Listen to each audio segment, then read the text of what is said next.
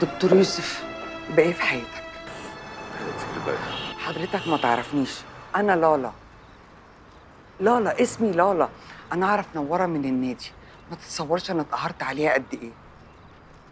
معلش يعني ممكن أستسمحك في دقيقة على جنب كده؟ معلش دقيقة واحدة دقيقة واحدة.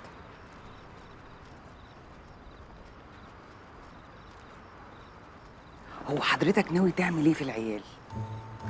قصدي يعني نوره حبيبة قلبي ما كانش في أحن منها في الدنيا ولا في حد هيعوضها.